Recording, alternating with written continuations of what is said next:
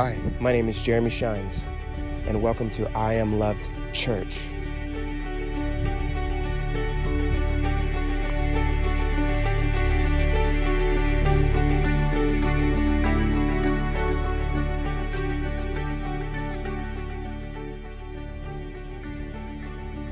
Good morning. I have a great message for you guys today. God always speaks to me in the morning. The morning is a good time. It's just when everything is refreshed, right? The old yesterday is gone, and today is a new day, for we should rejoice in it. So, here's the message.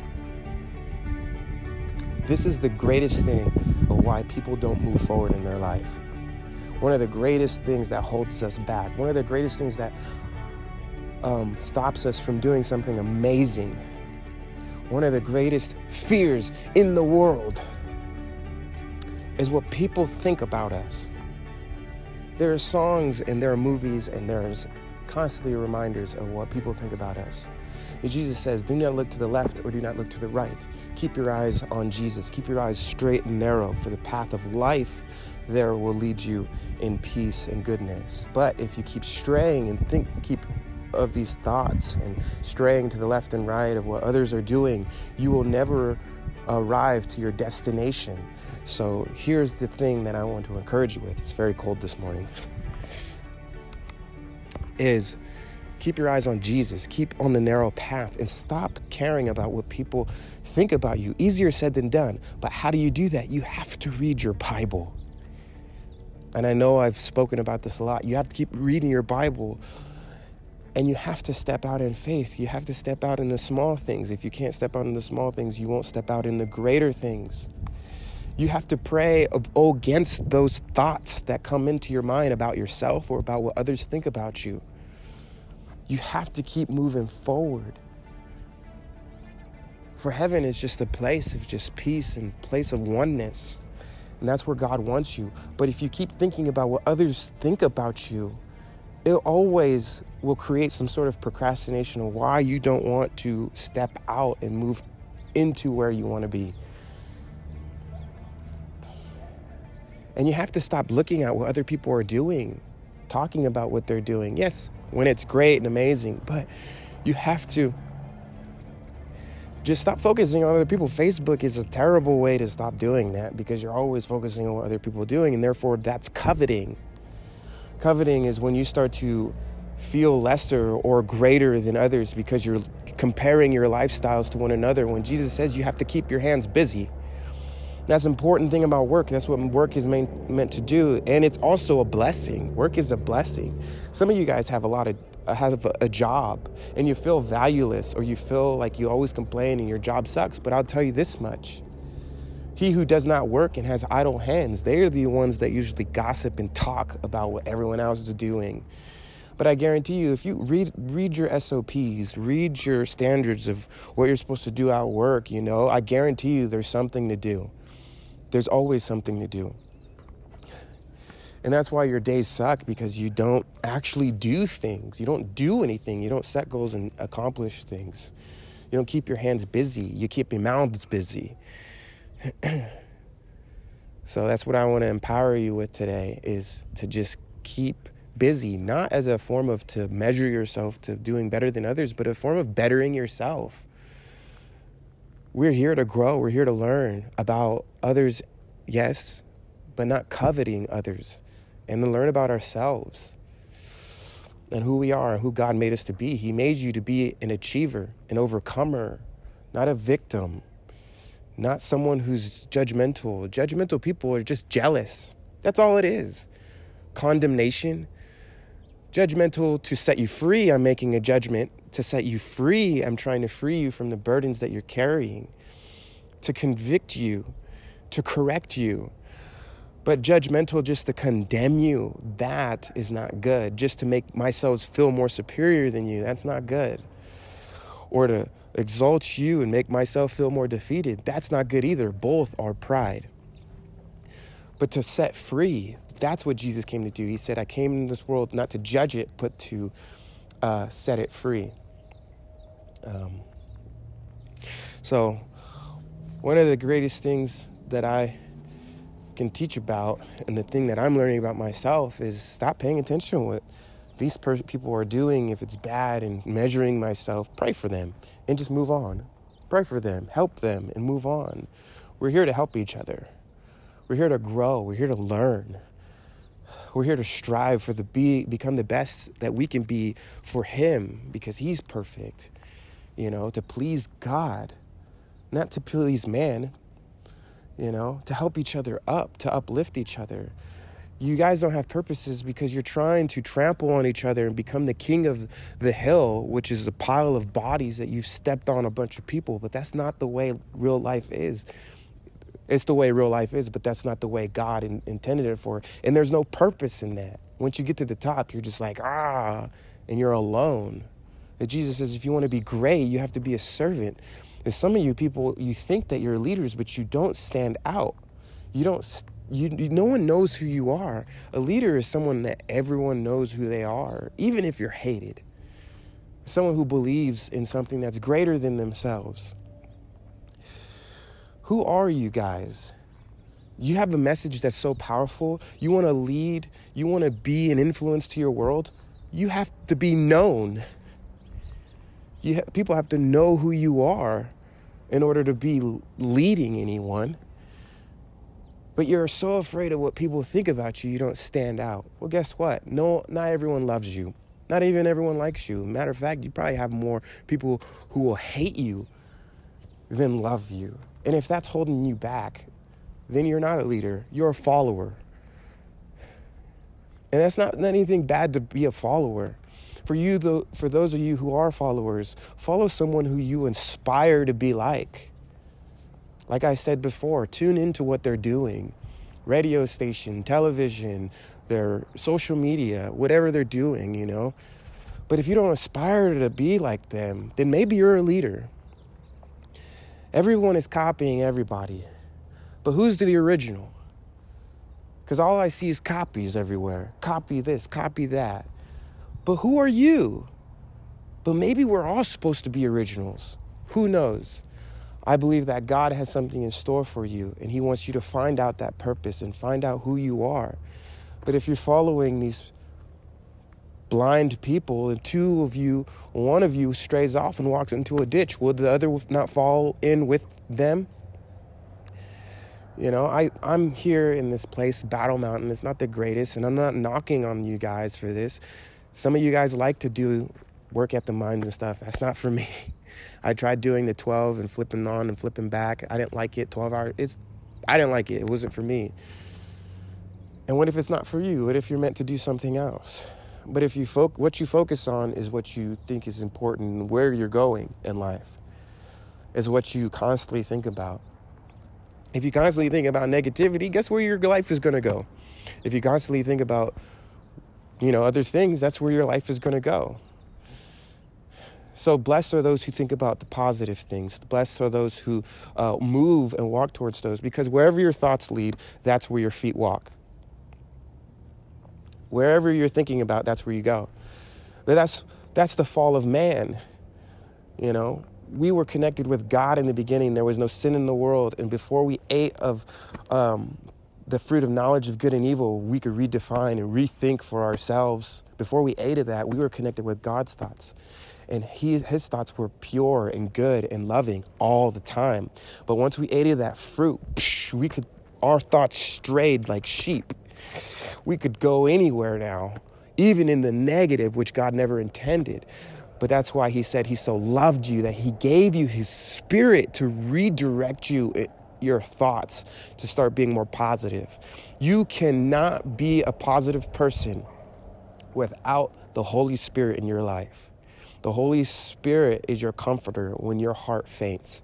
The Holy Spirit is your guide when your mind is led astray. The Holy Spirit reverts you back to the narrow path that you were designed to go on to accomplish the things that God has for you and to live a good and peaceful life. And if you're not following the Holy Spirit, nothing I tell you and no other book can teach you besides the Word of God where you should go and what you should do and how you know how you should feel.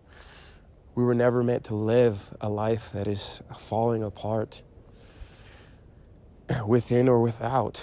We were never meant to see death or experience it. But the fact that we are shows us that we've fallen from perfection. But that doesn't mean that it's hopeless. There's hope in the end. In the end, we already win because Jesus already died and resurrected. In the end, we win. But we only win if we follow the Holy Spirit.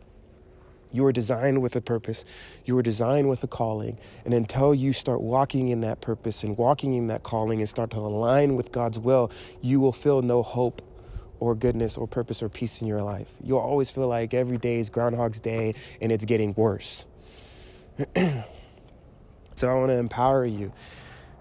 Step out, follow the Holy Spirit, follow God.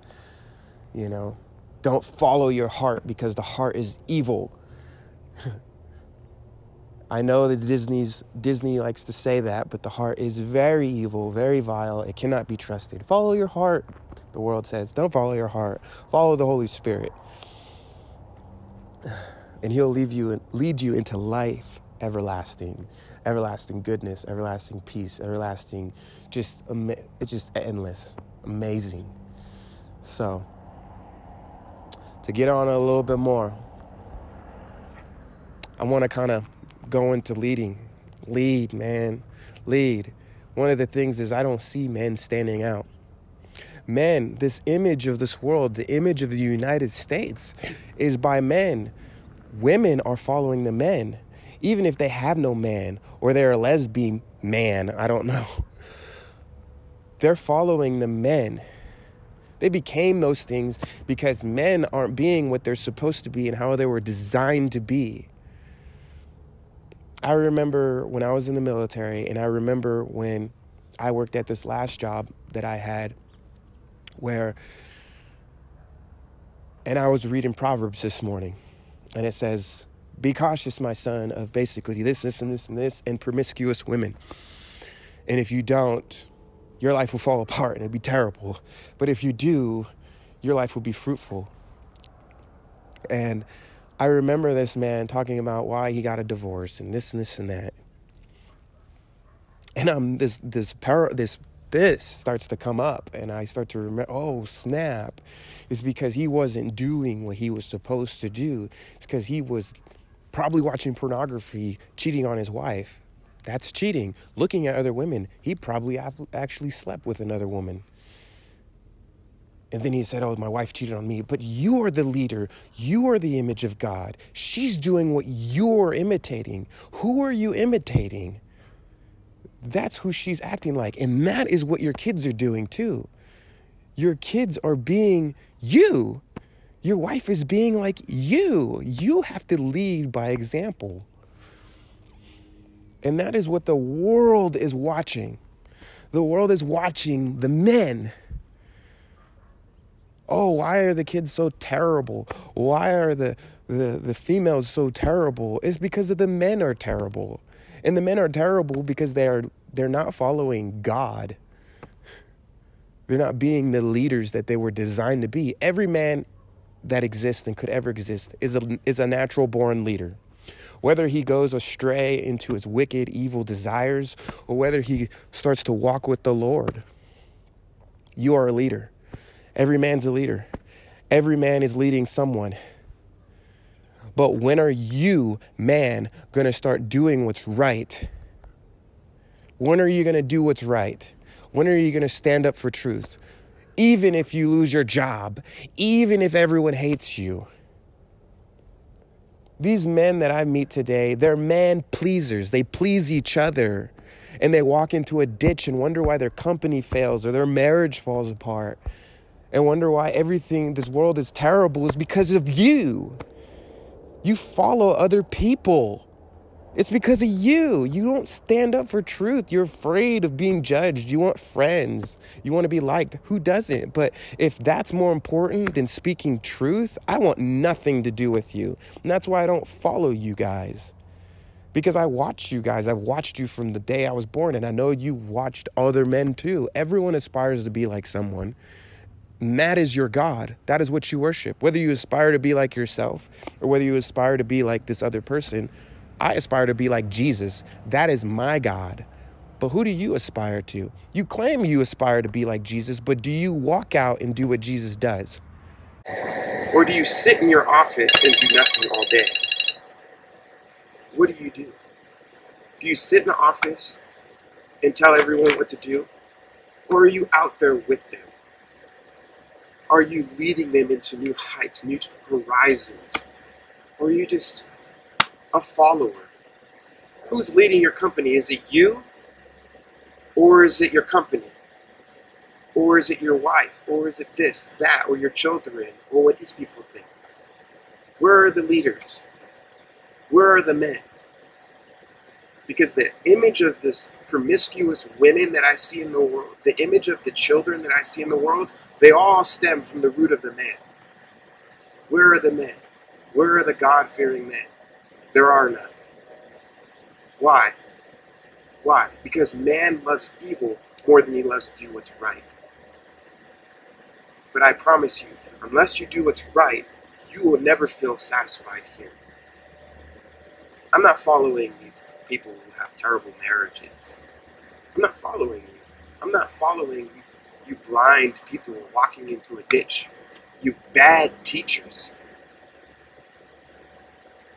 For the crown of a man's uh, life is his to see his grandkids.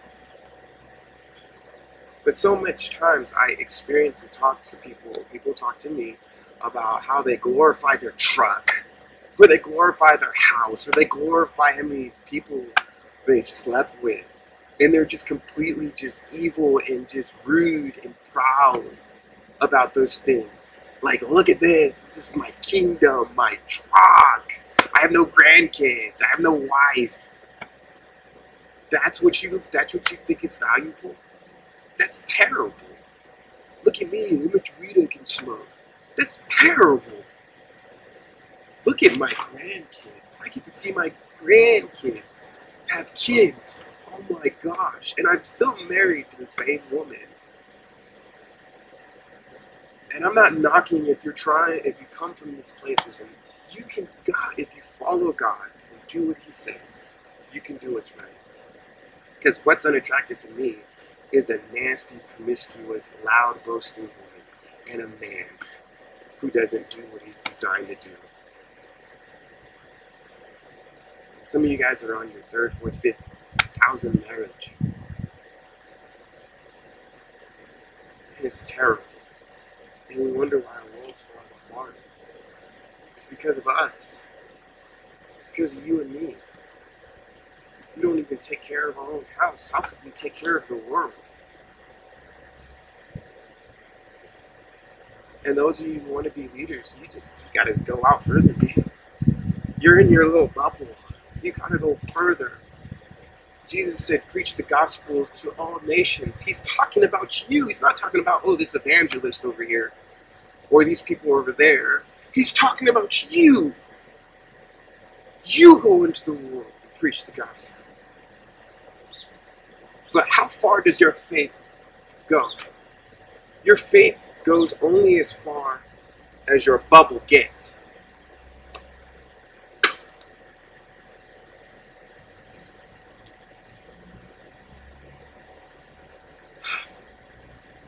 Where are the men? Where are the leaders? You call yourself a leader, call yourself a man, start stepping out like one. Oh, the people in this world are so terrible. I'll tell you this much and I'll end on this. God said this to Adam. When Adam sinned, this is what God said. He said, Where are you? Adam said, I hid because I was afraid, because I was naked. I was naked and afraid. God said, Who told you that you were naked? The fact that you complain about this world as I am right now, is a conviction. And the conviction is, why are you changing And